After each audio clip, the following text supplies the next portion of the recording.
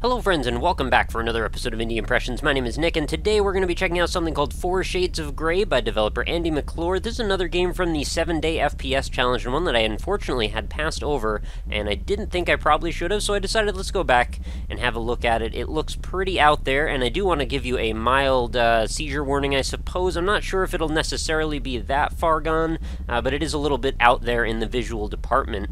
Uh, just to give you an idea here, uh, the developer has cited a first first-person game, this is the description of the game, you don't shoot anything, it's about social dynamics, and the little bit that I've played of it, uh, it's mostly discordant visuals and pretty wild uh, background sounds, so I had to lower it quite a ways, so it was very deep in the low end, but let's just jump right into things and see what we can see, and uh, hopefully this is going to be pretty cool. Let's try it. Alright, so here we are. Uh, we are someone standing up on a block, and there seems to be uh, an endless white void filled with other blocks and we don't actually control our character with WASD, which is, uh, you know, obviously the standard that I think most people expect. Uh, everything seems rather flickery and a little bit discordant and disjointed, perhaps, but uh, we've also got this crazy music playing in the background, uh, which aids me in believing that uh, we are maybe we're maybe visiting a sort of a conceptual realm, and maybe this is more of a mind state than an actual plane of existence or something. Uh, there does appear to be a player character, or some sort of an NPC character, rather, over here. Uh, looks a little bit more like maybe a uh, like a piece you might find in a board game, and I believe this is supposed to indicate maybe a female character due to the, I don't know, the, the appearance of what seems to be maybe a skirt. I don't know, it, it might be evocative of that, I'm not quite sure yet maybe a little too early to say. I just want to go and look around first before we go talk to that person and uh, see if there's anywhere else I can go. So we basically are grappling from block to block here just by clicking on the block we choose to stand on. Uh, there are certain positions that we can't jump to uh, based on where we're standing. You'll see the, uh, the, crosshair that isn't always there will turn into like a can't do that sign. And it looks like I've gone just about everywhere I can go. So let's go talk to this character. Please leave me alone. Okay, fair enough uh, we are rejected from that interaction. So, looking around, we've now got a crazy filter going over everything, and I'll try not to move the viewpoint around too much. The sensitivity's a bit on the high side, uh, and uh, I have a feeling that with this visual aesthetic, things might get a little hard to look at if I jerk the, the viewpoint around too much. So uh, I'm sort of just transporting my character through all of these blocks, which have sort of turned into these nebulous blobs of color, and it's actually a pretty cool look to it.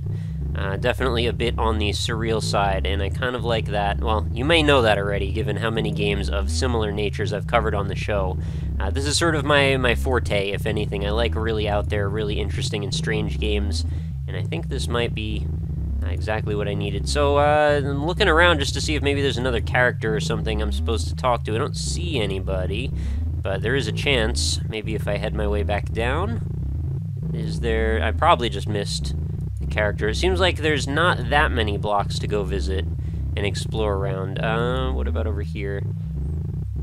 Especially if we've got this filter covering everything, it might just be that the character is there, but it's just kind of hard to see given, you know, smudginess or something to that effect. Oh, is that the character right there? Yeah, it is. Alright, I can see the shape actually sort of uh, changing, and I, I, guess there's some sort of like a shader effect going over it that's coloring it from uh, red to black and black to red. Alright, I don't want to talk to you. Oh, well, I guess uh, let's try again. So, oh, we've got another effect change here. Uh, looking out at the field of blocks now, everything seems to have... Uh, I don't know if that's like a shadow moving over everything, or maybe it's just an animation, but it's kind of interesting, and it sort of makes them all look like they have a side carved out of them. There's a couple uh, blocks that are intersecting, and the music has changed tone drastically now. We've gone from very deep low end to a much more high-pitched high end, uh, and a more of a twinkly sound instead of this deep bass.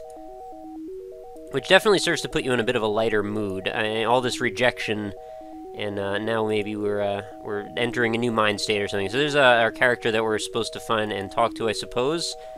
Don't see anything else. I do want to just keep making sure that I'm not passing up any other characters or possible interactions here. I think that's probably not the case. Uh, alright, so I guess we'll just keep going then. Go away! Alright, oh, and now things have gotten really out. Alright, so now we've got what looks to be a blend between uh, either two or three of the visual modes. No, I think just the two.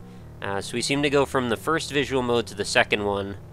and we're just alternating back and forth. It sort of looks like we're looking at the world through some piece of like plexiglass or like crazy construction safety glass or something like that. Uh, it's one of those shader effects I've seen used in Half-Life 2 quite a bit, uh, although not exactly the same. And then we've got all these crazy colors coming through everything. It's just quite striking to look at, uh, and I think I could probably make some cool desktops out of this, honestly, uh, from screen captures. So uh, I don't know where the character is on this case. I might just stumble upon him or her by accident. I keep getting a glance every now and then at the block, so maybe I need to be facing in the right direction at the right moment. And I am totally aware of the fact that I'm probably not deconstructing this game uh, properly on the basis of, you know, the cerebral element that's going on, the psychological element, which I have a feeling is probably exactly where uh, the core of the game's content lies. I just don't feel like I necessarily know enough to really make a, uh, an educated guess about exactly what's going on here yet. Uh, this might be the type of thing that maybe we would revisit after we've already finished it and then talk about the implications afterward. Right now I'm just I'm enjoying the visuals, to be perfectly honest with you. Uh, just sort of taking in all of these crazy colors. And uh, the way that things keep morphing back and forth like that and that they're not really predictable I find to be quite striking too. Uh, so I'm looking around again to see if the character happens to be around. Uh, I'm not sure if the character maybe uh, has moved, because I did the one run very quickly to get a sound check, and I thought I thought the character was in a different place the second time than he or she was the first time. Alright, still looking out.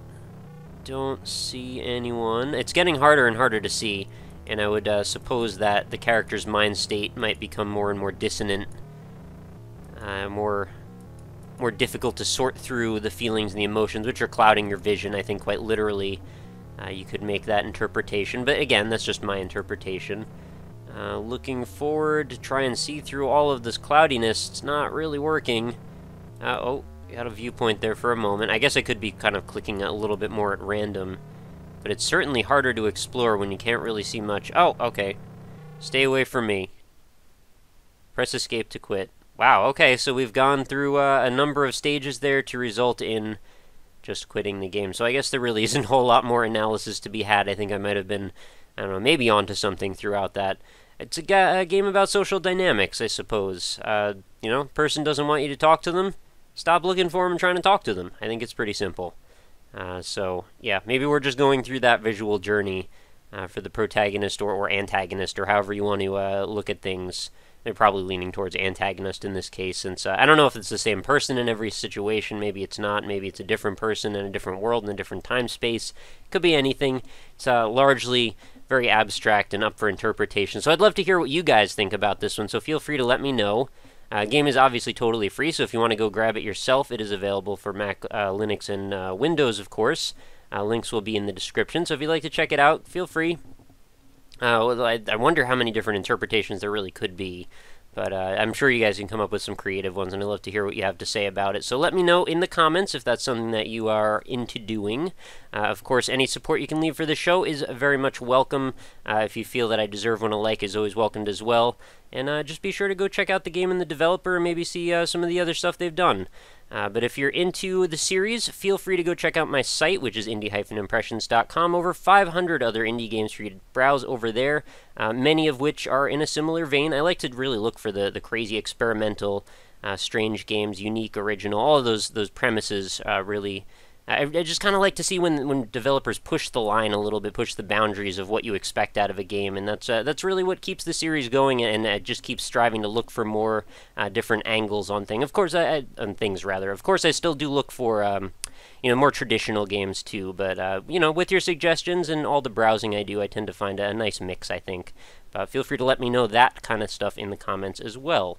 So uh, check out the site, check out my Twitter, all my other social media information, and the game, of course, in the description of this video. Let me know what you think, and hopefully, if you're still enjoying the series, let me know that as well. And come back again tomorrow, new episodes every single day.